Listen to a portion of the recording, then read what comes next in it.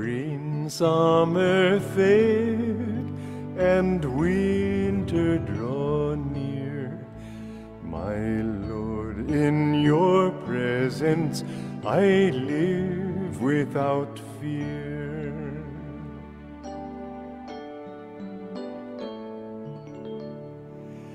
Through tempest, through snows, through turbulent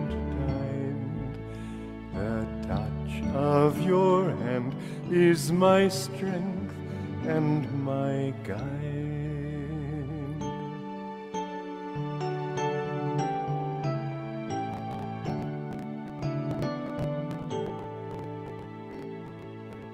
I ask for no riches that death can destroy.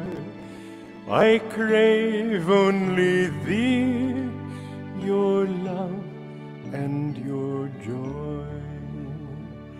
I ask for no riches that death can destroy. I crave only thee, your love and your joy. The dancers will pass, the singing must end. I welcome the darkness with you for my friend.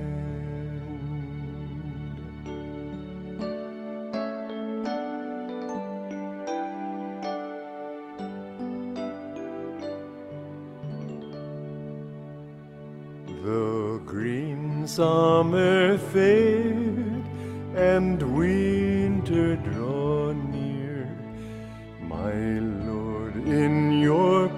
presence I live without fear.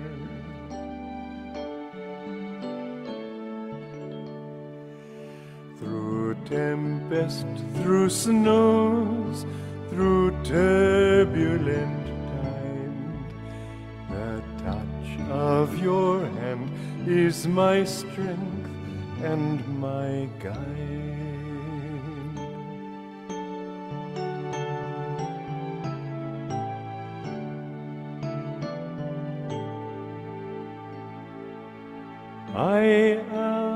Ask for no riches that death can destroy. I crave only thee, your love and your joy. I ask for no riches that death can destroy. I crave only thee, your love and your joy. The dancers will pass, the singing must end. I welcome the darkness with you for my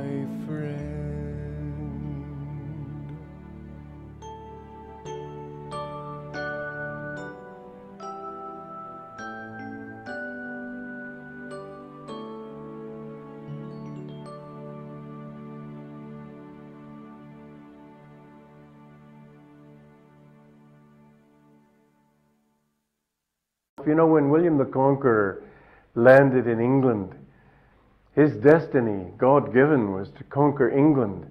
But the first thing he did, it was a muddy day, and he slipped and fell in the sand, in the mud, and this gasp went over the whole army. Oh my God, what a bad omen.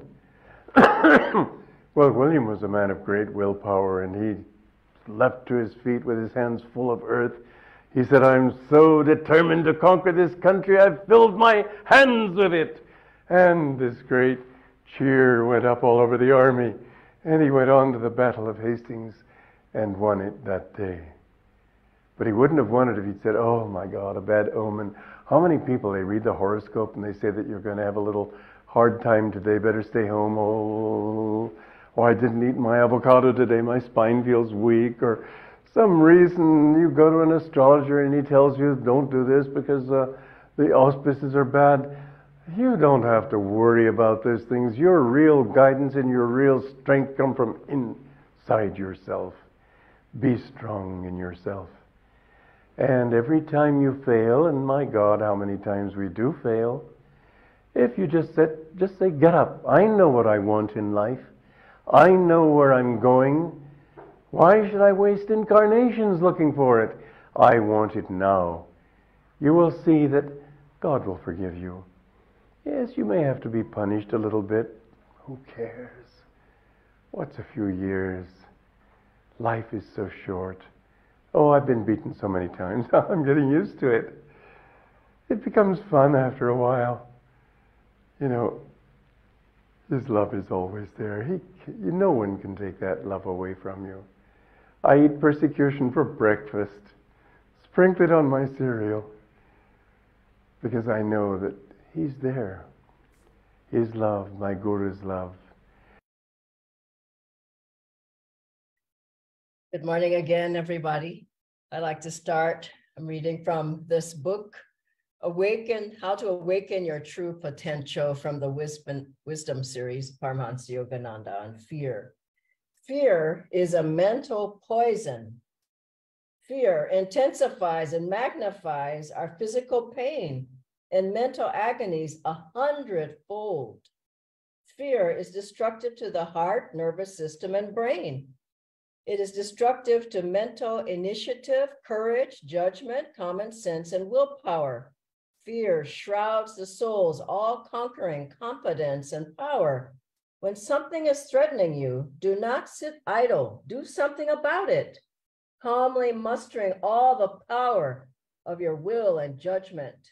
If you are unable to dislodge the haunting fear of failure or ill health, divert your mind by turning your attention to interesting, absorbing books or even the harmless to harmless amusements. After the mind forgets its haunting fear, encourage it to discover and root out the causes of failure and ill health in the soil of your daily life. Do not fear disease or accidents if you had had them once. On the other hand, fearlessness will, in all probability, avert them or at least minimize their power. This is a vitally important topic to disciples, devotees, truth seekers, to everybody there's so many fears that people carry around with them from one life to the other, and they affect them in this life, and they carry them on to the next life. I was remembering a story of Swami Sri Yukteswarji, was certainly fearless. All of our masters were. And he, his mother, when he was young, said there's a ghost in the closet. And he said he went immediately to the closet and he didn't find a ghost. And his, one of his great statements was, uh, look fear in the face and it will cease to trouble you. And I think that's the thing we have to remember. There, there's all kinds of fears you can have. You have fear of walking across the street, fear of driving a car, fear of any accident, fear of any mental problem, fear of any physical ailment, fear of somebody dying in the family, fear of losing your your spouse, your loved one, fear of some financial disaster. I mean, there's just a gazillion fears that people can have and do have every day. And it just weakens and weakens and weakens not only your spiritual energy, it weakens your attunement, it weakens your connection with the divine. And I've seen people go through at Ananda many, many challenges on all levels over the past four and a half decades. You would think that nobody has any challenges. They're all happy and joyful and nothing ever happens. But I've seen so many things happen. I remember one year, seven of my friends died from various things. But what I noticed was that the people who had those challenges in the beginning, or during or near the end, they realized that God was with them. And what what's more important than that? I remember hearing Swamiji say that Master said the disciples will be protected. He said this in India as well in the very beginning of our work here. I remember everyone felt so happy, you know, the disciples will be protected. But then he added, even if you die, he's still protecting you. And you have to think about that. You know, nothing's ever going to happen because master is protecting me. Also, he said that our our lives are in master's hands. Our life and our death are in master's hands. And we have to realize that divine mother is with us no matter if we're healthy, if we're not healthy, if we feel good, if we don't feel good, if we are on the brinks of leaving our body, or there's so many things that can happen. But fear doesn't help. When we can put our hand in Divine Mother's hand and know that she's there, then I find that the fear goes away. Master said at one point he had, he went through an experience where he had a vision of being in his Calcutta meditation room, for Garpar Road, meditating, doing Kriya. And then suddenly he was in the body, shifted into a body of a captain of a ship. And the ship was going down, there was a battle, and he was struck by a bullet. And he said, and I realized, oh my, I'm dying. Oh, I'm dead. And then he said, Well, that's interesting. I'm dead. And then suddenly he was put back in the body, meditating, doing Kriya in his home. And he says, Oh, I'm not dead. How nice. I'm not dead. And then he was, he said, translated. It was translated back into the body of the sailor, the captain, and the dead body. Oh, now I'm dead. Then he went back and forth a few times. And then he said, he said, I was confused. And he said, I asked, I saw this light and I asked that light, Sire, light, am I dead on the battlefield? Or am I alive sitting on my bed meditating in Calcutta? And he said the response came so strongly to him Neither. You don't either. You're the light that's created the whole drama. You're not dead on the battlefield, you're not alive. And I think we have to realize that this life is a drama, it's a Leela. It's a play. We're playing our parts as best as we can. We have karma to work out, and you can't run away from that. But fear doesn't help you to conquer. Fear weakens you. We have to become conquerors of every fear, of every doubt, of every worry, because our hand is in our master's hand. Our gurus, all of them are around us, helping us, protecting us. They can't help you and protect you if you're weakened all the time. Help, help. It just doesn't do anything. And I was remembering some wonderful stories of Master helping the devotees. There was one where he was in a, a ship. This is must have been, well, yeah, when he came back in 1935. And um, there was a boat and it was overly crowded. I don't know which river exactly he was on, but um, this boat started sinking and all the passengers were afraid and they they saw he was a spiritual person. They all ran to him holy man holy man save us save us. And he said i can't save you. This is the point. People think oh it's just guru guru. He said i can't save you. Pray to god. Pray. Get an attunement with god with the light God can save you. And everybody began to pray instead of running around. And then this, the ship, the boat started coming back up and they didn't sink. And they, oh, holy man, you saved us. He said, I didn't save you, God saved you. we have to be in attunement with that power of God. Yes, is coming through the guru. Yes, is coming through our practices. Yes, is coming through the meditation. We have to stay in attunement. And I see people get out of attunement, all kinds of things happen to them. Because you're attracting like is attracting like. You're attracting what what you are. You're fearful all the time. Things will happen that make you more fearful. If you're strong in yourself you you'll be strong. And karma will come but it won't knock you down. It may tap you. It may touch you a little bit but it won't destroy you. There are many other stories of God's power through the guru we who helped them. I remember a wonderful fellow, maybe they're watching a Akash uh, and his family. He was a member in Gurgaon. Now they live in Canada. And they were going from Gurgaon into Delhi. They're going somewhere here, and they parked their car. He had a car protector with a picture of Master on one side, picture of Babaji on the other. So he parked the car. They took the family out. They were walking somewhere, and soon as they got out of the car, they looked back, and a big bus came and just just demolished the car. And he said, I realized that car protector, that master was protecting us. He got us out of the car. Of course, he had to get a new car and all that, but that's the lesser of the karma. And they went away unscathed. And a story of Norman and the flatbed truck you heard, he was driving down the hill of Mount Washington, the brakes went out. And he called out, Master, is this what you want? And then God's power came and stopped that car. There are many wonderful stories. I think if you still start feeling fearful and worried and just open up the new path or autobiography of a yogi and uh, you'll find many things. I found another one I want to tell you that um, it's a bit hilarious. So this man was, he was a disciple and he, master, master told the disciples, don't hitchhike because it's dangerous. You don't know whose car you're going to get into. So this fellow never quite followed the rules. And so one time he was in a car with somebody. He had picked up somebody, the first one, and um, a hitchhiker.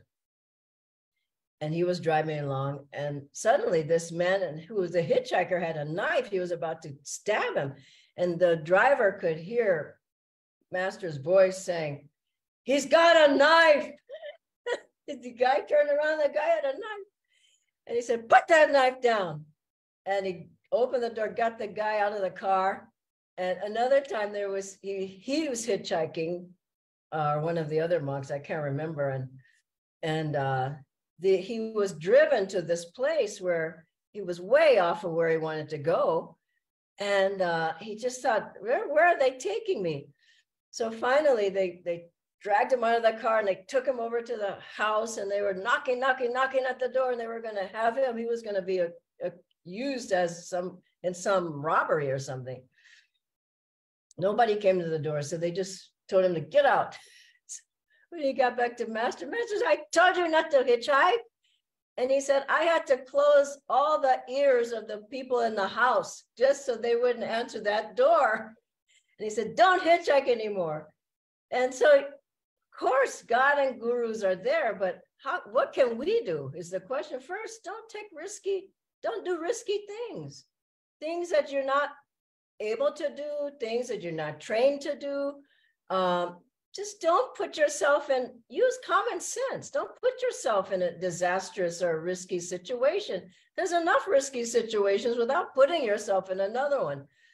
Um, and the other thing is keep yourself healthy. God can't help you if you, you eat everything and all the sweets every day and your teeth are falling out and you know all of this you just work on work with divine mother uh now i'm afraid i have to have a surgery. Well what happened? You know i mean really i mean if it's one of those that you couldn't avoid fine but a lot you can avoid if you just take care of yourself and exercise and eat properly. Um here's another one. When i was growing up my I grew up with two brothers and they were uh they were fierce, you know. I mean, our whole family was, but they would, you know, when our parents were gone, they would say, No, we're gonna watch a horror movie. I said, I don't watch a horror. No, we're gonna watch a horror movie. So they would put on some horror horror film, everybody screaming and you know, and today we don't so much have a horror movie, but don't watch things that make you fearful.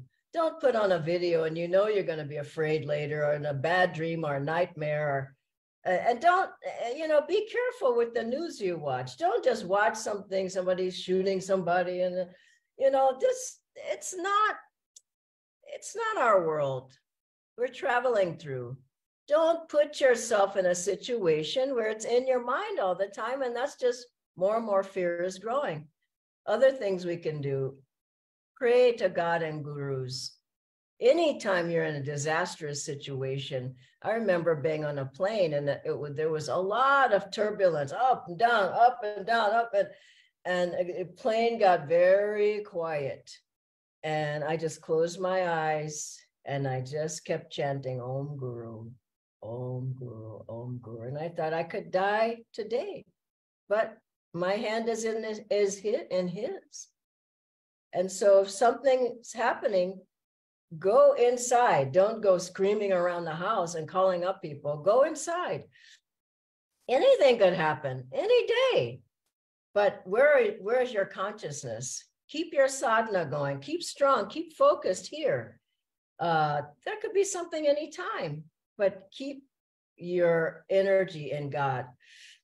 Do the practices to keep strong. Om Tat Sat, you can do. I've shown that before. I can't stand up and do it now, but the hands forward and the hands back, touching, chanting Om Tat Sat or just Om.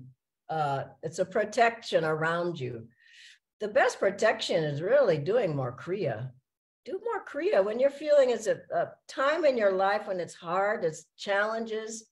Do more Kriya. It will really get you more strong in yourself. Carry a picture of the guru or the masters around with you. Have a travel altar.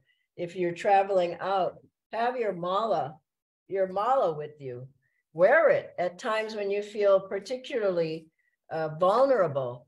Um, be with other strong guru bhais. Don't spend a lot of time with people who are just always fearful about everything. And uh, I remember Swamiji used to tell us this story. He said there was a disciple of one guru who always was fearful. What if this happens? And and the guru would say, well, then maybe that you can do that. Well, what if this happens? Well, maybe you can do that. Well, what if that happens? And he, the disciple would go on and on. And and uh, they just have worry, one worry and one fear. The, the guru couldn't help them anymore. But what if I die? And he said, well, I mean, that may happen. And it did happen.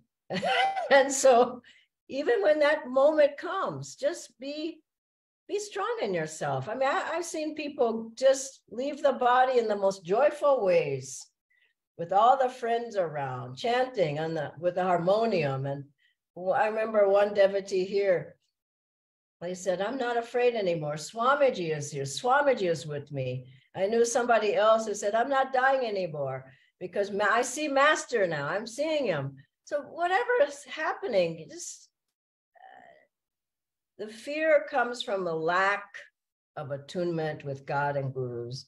And I like to end with this uh, affirmation. If you can do it with me. God is within and all around me. Say it out loud, protecting me. So I will banish the fear that shuts out his guiding light. God is within and all around me, protecting me. He's protecting me. So I will banish the fear that shuts out his guiding light. God is within and all around me, protecting me. So I will banish the fear that shuts out his guiding light. God is within and all around me, protecting me. He's protecting me. So I will banish the fear that shuts out his guiding light. God is within and all around me, protecting me. So I will banish the fear that shuts out his guiding light. Say it mentally now God is within and all around me, protecting me. So I will banish the fear that shuts out this guiding light. This is from this book, Metaphysical Meditations. Om Shanti, Shanti, Shanti. I'll ask Natendra to join on screen now. Thank you so much, Dhyanaji. And we have a list of questions. First one I can ask because nobody's around. My movement is not very uplifting at home. It's noisy and there are a lot of people. So I don't feel that uplifted. There's not a good vibration. So what can I do in such situations?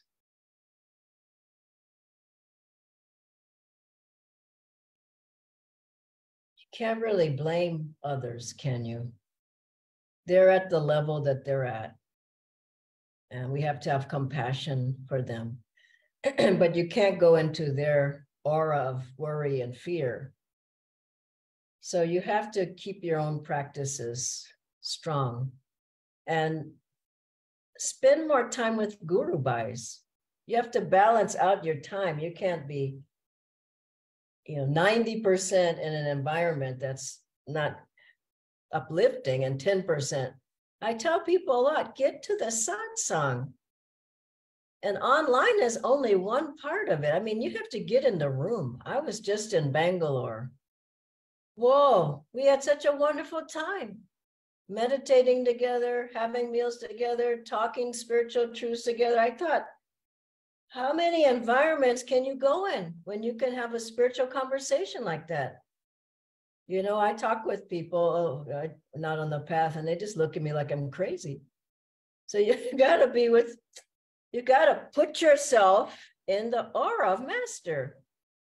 And people make a dozen excuses, but get to the satsang, go to the center, go to Kriya, for God's sake, go to every Kriya that's possible, that's near near you. I've been to hundreds of Kriyas. Go to the meditations, go to the guided Kriya meditations. You have to you have to work at it. I'm not going to make this easy. It's not me. It's not easy. You have to put yourself in the proper environment. And then the other environment, it's okay, yeah. You know, but if you're always there, oh yeah, sit down and watch three more movies with everybody, you don't have to watch three movies. Excuse yourself. Go in your meditation room. And in the morning, for God's sake, get up earlier if you can't, if you can't meditate when others are up. Just get up and do it. So Master said this path may not be easy, but the worldly path is much more difficult. Right? You keep that in mind. It's much more difficult. Okay, you have other questions? Yeah. Yeah, there's a live question. As we have healing techniques for others where we can help them heal, do we have any ways to help others overcome their fears as well? I think the same thing, the healing prayers. Yeah, and I would offer people something. Your friends, your relatives, offer something, either a book, you know, just buy them a book or tell them about it. Um, a mala or coming to the satsang, come to a talk, something, give them a, send them an affirmation or give them an affirmation or a photo or something. I was with some friends yesterday and um, one fellow had just got a graduated from college and got a job and you know, I thought I want to give him a gift. Now you can get a shirt or some, I don't know. But what did I, I said, that guy needs a mala. I'm going to give him something spiritual to help him. So help people, you know, with a kind word and all that, but give something that can help them and pray for them. Thank you, Dhyanaji. We have another live question a lot of times people lie out of fear and that breaks the trust. So how can we overcome the lying that comes out of fear? That's lying isn't going to help you. You just get into more and more lies. Then at a certain point you get caught. So it just doesn't it doesn't work. We know it doesn't work. So i think you just have to come out of it. And then you're afraid that somebody's going to catch you on the lie, and they usually do. So these are things you have to break on your own, you know. Um, it just doesn't work. So you'll have to figure that out, but it, we know it doesn't work. So you can just, um, you know, I think this is a good question because a lot of fear comes around things that people do that they know they shouldn't do. Then they're worried and they're fearful about that. Like a child, if the parents say don't do that and the child does it, the, the kid is afraid the parents gonna find out and they do find out. So I would say clean up your life. It may take a long time, but just little by little, just get clean, clean everything up and you'll find that the fears just there won't be there nearly as much. That's all I can say about that. Thank you, Dhyanaji. We are up on time, but just a final question. Mm. I'm afraid something may go wrong with my health, and maybe some relatives or friends have health challenges. So, what should I do? You know, as you get older, that people do think, oh, this is going to happen, oh, and my knees are hurting out, and my neck is out, and my my feet hurt, and you know, you think it's a downhill slide. But Master said, keep the body fit for self-realization. Now, here's a good example, Jyotishji. He's 80 next month in August. Who do you know that's 80 that looks like that? that much energy traveling around the world. Who do you know? Now, why? He's kept his body fit. He eats properly, has fasting days, exercises, has good thoughts. You know, that's the that's the trend I'm looking at. You know, you do, I'm getting up there in age, but I don't feel it. I eat right, I exercise, I'm going swimming after this. You know, it's like you have to work at it. Here's the other thing you can't just say, oh my God, I'm getting old now and something's going to happen. It will happen if you don't work on yourself. So start when you're young. I know you're in good shape, Nitendra, and I urge people if people eat all kinds of things and don't dumb sit on the couch for my exercise. Well, it doesn't it doesn't work. When you're sitting on the couch, you're not exercising. Let me just say that unless you've got some barbells or something that you're lifting, but it's just a joke. So, um, of course, your body is not going to be your friend if you don't work with it properly. Start today and eat right and exercise, and you'll feel better. And that fear of, you know, I, will end with this. That one, years back, I went, I had a doctor's appointment, and they said, your cholesterol is a little high. And so, you know, if if you don't get this down, you're you're going to have to be on co- proper med- medicine for the rest of your life. I said, oh, forget it. I said, give me three months. Three months, I did more exercise. I changed my diet, and I went back in three months. They said, fantastic. So you can change these things too if you catch it soon enough. Now I have no cholesterol problem. So you can work at it. Okay. God bless you all. Have a wonderful day. Thank you, Natendra. Bye.